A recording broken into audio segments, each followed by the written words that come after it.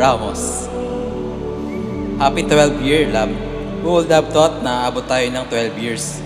Sa 12 years na pagsugal mo ng walang kasiguraduhan, sa akin mananalo ka naman o matatalo. Maraming salamat. Like I told you before, in a world where so many things can be uncertain, you're the only one thing that I always sure of. So eto na,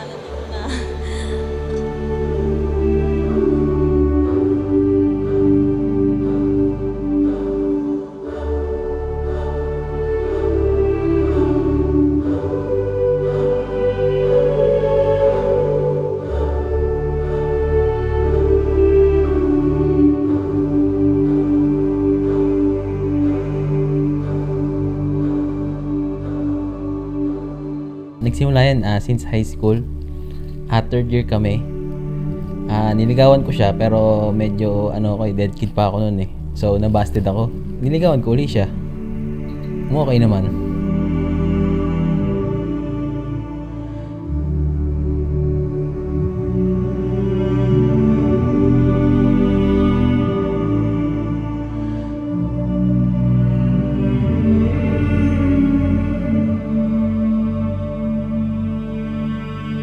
Sinabi ko mag-resign na siya sa pinagkatrabahuan niya, then magtulungan na lang kami. Hanggang na-build namin yung our marketing. Nakuha ko yung first million ko, ayun, syempre, ah, lalaki tayo, marami temptation. Maraming kalokohan. Ayun, gusto ko siyang iwalayin kasi syempre pogi eh, marami, marami pera eh. Panahon na yan eh, talagang lalapitin ka ng mga temptation tsaka mga ano eh. Siya naman, hindi niya naman ako iniwan tsaka nandyan lang talaga siya sa akin. Kahit na maraming kalokohan dati, dati ha. Be faithful to one another. That fidelity is very necessary in married life. Kahit itanong niyo pa sa mga magulang ninyo.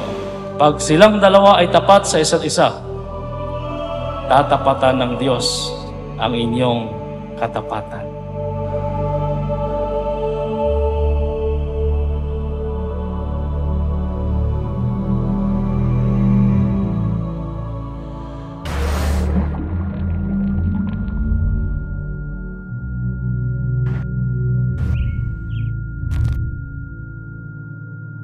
You should love your wife, Roger, and you should love your husband, Pamela, as Christ loved the church.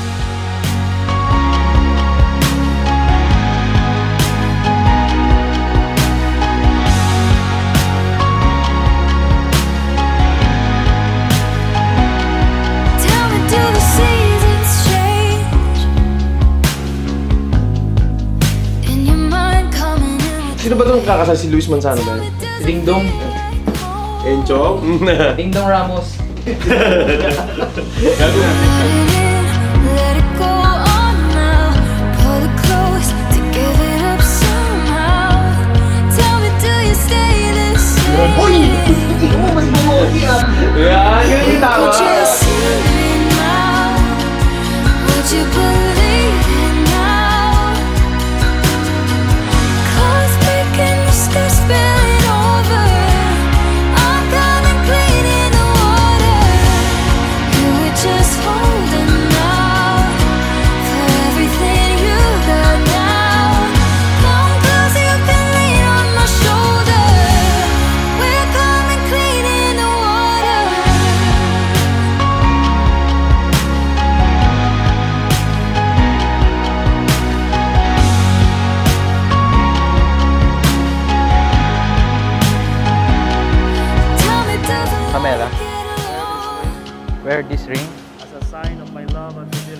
as a sign of love and fidelity.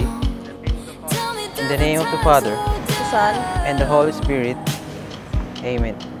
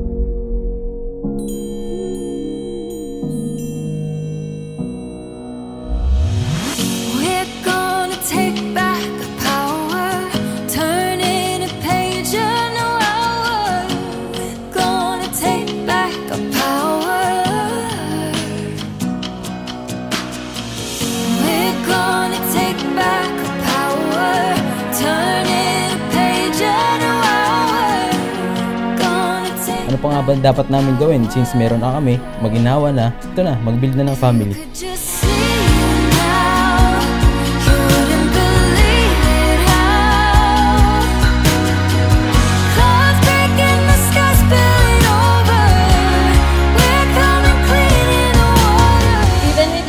Promise to choose compassion or fairness and remember that at the end of the day, we are on the same team.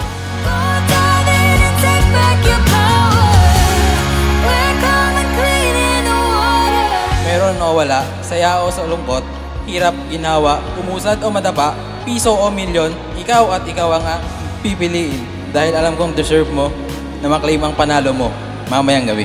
Joke.